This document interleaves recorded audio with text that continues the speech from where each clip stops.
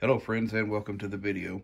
Over the past year, uh, either in person or online, I've had a number of people express their frustrations trying to use a, a laser to build RC airplanes. And I get it, man. And when I started, it, yeah, it was a disaster. I decided to kind of back up and not get too complicated.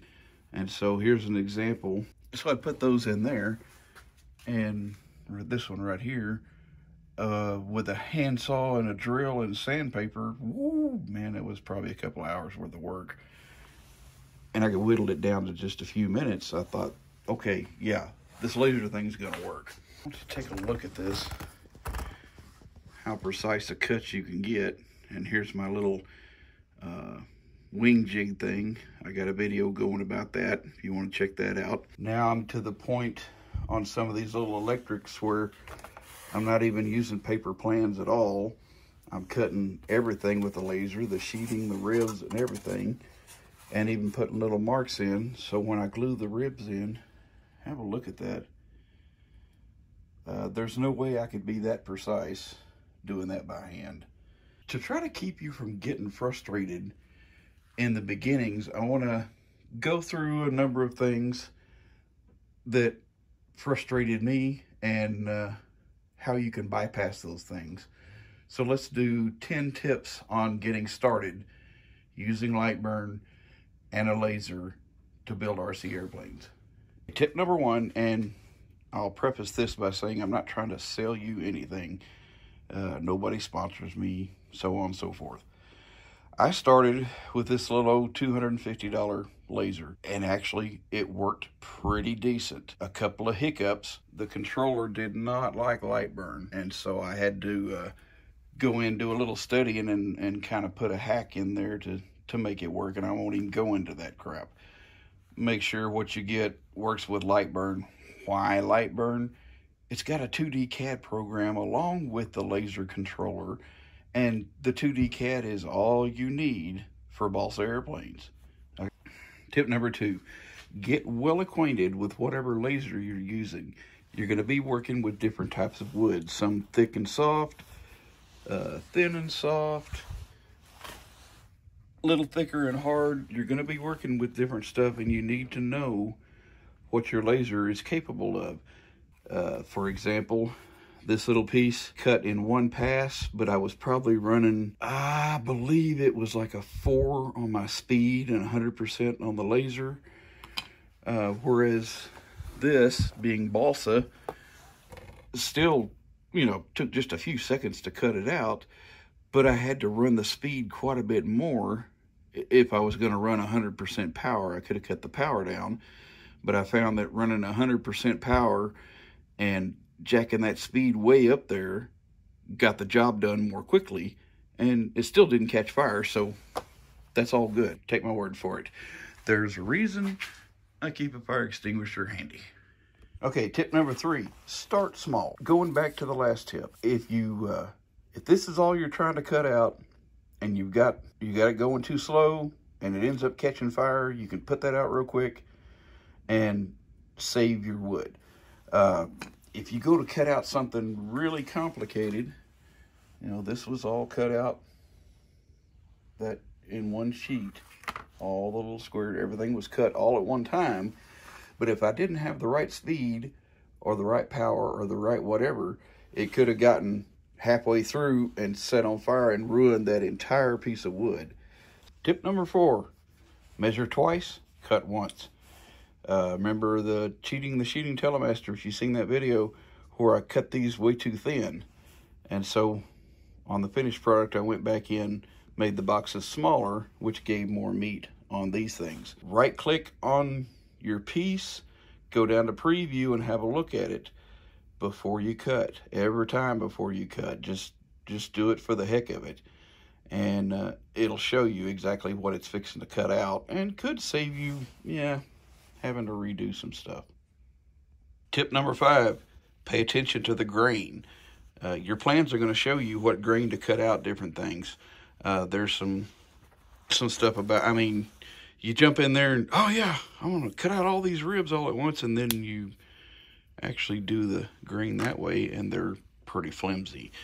Uh, an alternative to that is, say you're going to do a quarter inch thick piece and you want to just cut it out with the laser instead of hand building it. Take two 16 inch pieces of balsa, run your grain opposite directions, 90 degrees from each other, glue the two together. You old style builders know that that's going to add a lot of uh, strength to that balsa wood. Tip number six. Now, my laser, both of them, they don't have any of the end stops, nothing like that.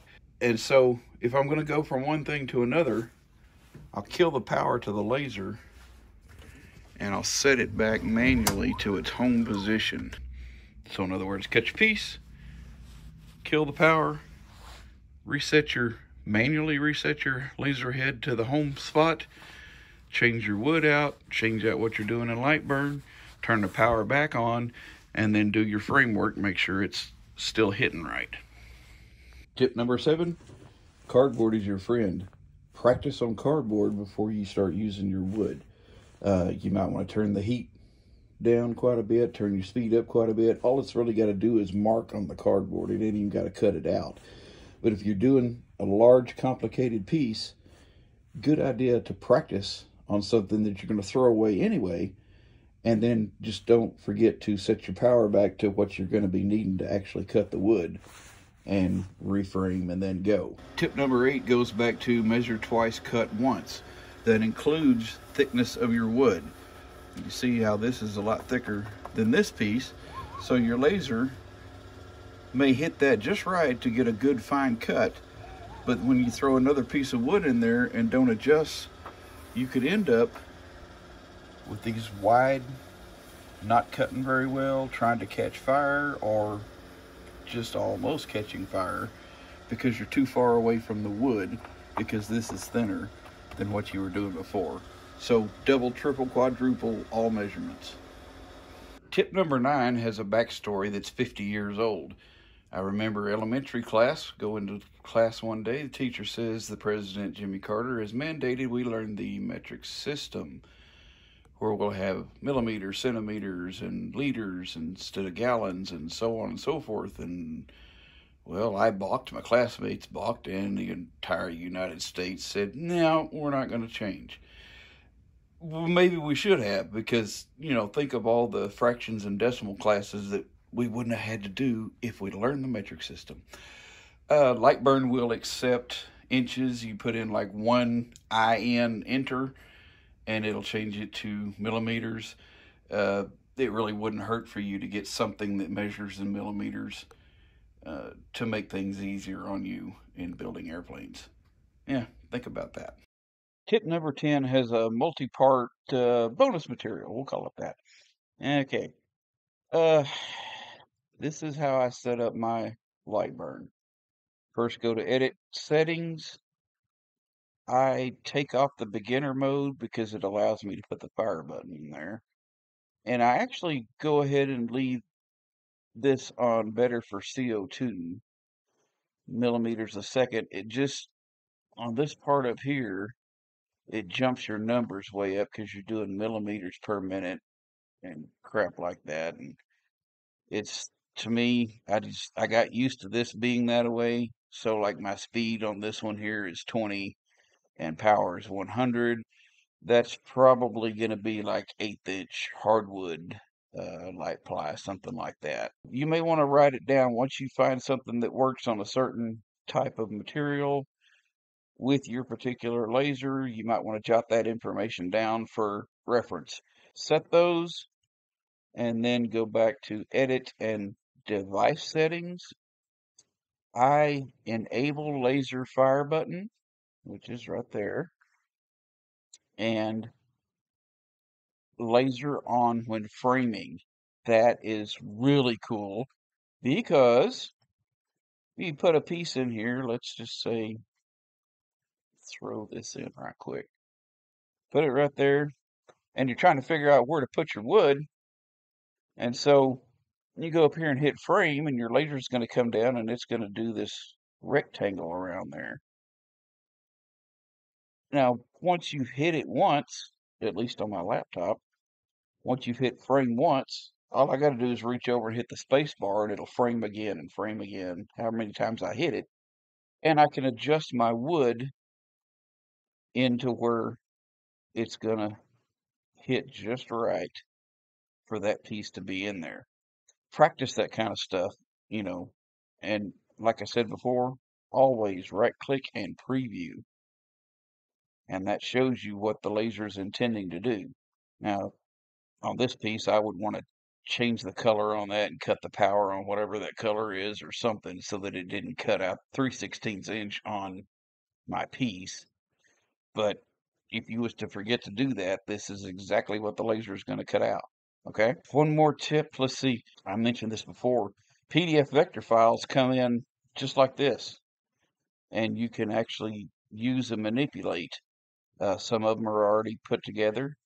And so let's say I wanted to cut that piece. I could right click, duplicate, bring it over here. You're going to run this piece using a greater than, less than, turn it 90 degrees and so that your grain's going to be right. One more thing, I've talked about this before too, going under advanced in Outerzone and coming down here, here's where you can get your PDF vector files.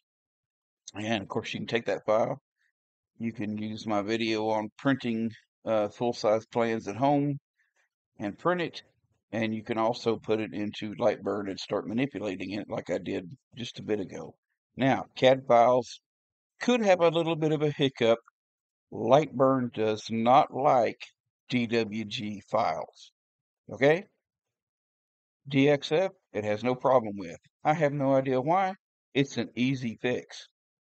So if you download the CAD files for something, because there are different ones under CAD than there are in PDF Vector and vice versa.